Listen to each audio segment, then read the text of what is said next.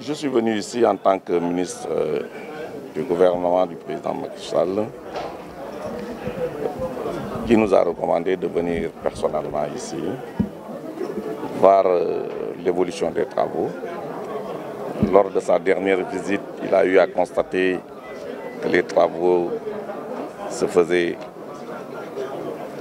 de façon extraordinaire et que le projet était bien conçu et que c'était avec foi et abnégation que tous ceux qui y travaillent se pressaient pour euh, faire aboutir ce projet important. C'est l'occasion pour moi aussi de féliciter donc toute cette équipe à la tête de laquelle se trouve Seigneur Ahmadou Badawi, qui est un, homme dimension intellectuelle exceptionnelle. Donc euh, nous sommes venus, nous avons constaté que ça, le rythme était soutenu et maintenu à des niveaux de rapidité extraordinaires. Et tout cela parce que le projet est un projet partagé. Partagé parce que bien réfléchi,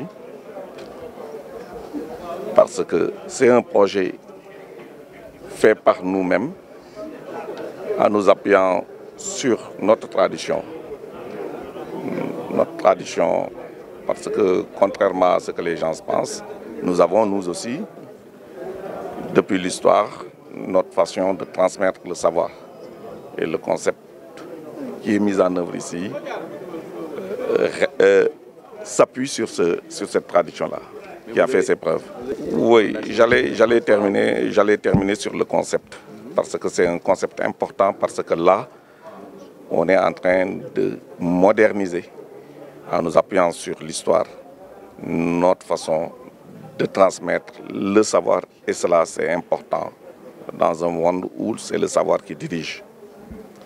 Maintenant, vous avez posé la question par rapport à son intégration dans la carte universitaire. J'ai expliqué ce qu'était la carte universitaire. Donc euh, nous avons un dispositif là, un dispositif assez particulier, mais un dispositif très innovant, et où se transmet le savoir, où se rencontrent des hommes de savoir, où l'objectif c'est de faire du savoir un élément important de notre politique. Nécessairement, on va l'insérer dans notre carte universitaire et cette carte universitaire sera, euh, et ce dispositif donc sera soutenu et géré en relation avec euh, la famille de Cheikh Ahmadou Bamba sous le ndigal du Khalif général Seigneur Taha j'ai dit tout à l'heure, je suis envoyé par le président de la République, je vais transmettre ce que j'ai vu et le président décidera de ce qu'il fera et il en parlera avec le calife.